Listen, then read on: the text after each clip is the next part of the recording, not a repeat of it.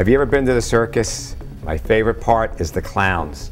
Not just for the comedy, but the magic. And let me show you exactly what we do with this magical clown. He goes inside this little box that's full of balloons.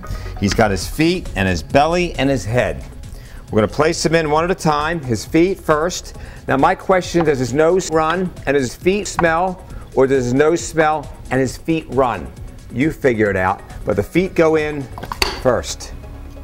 Then the belly, and then the, no, not the head. The head, if you paid attention, was the first thing to go in. We're gonna try this once again. We're gonna place, oh, let's try the feet first.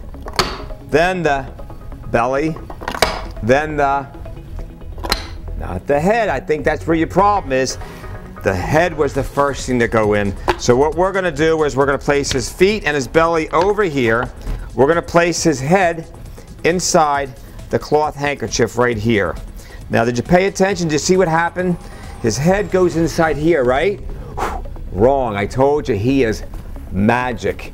And if you paid attention, his head reappears back on his body right where it belongs. That is, my friends, the mismade clown.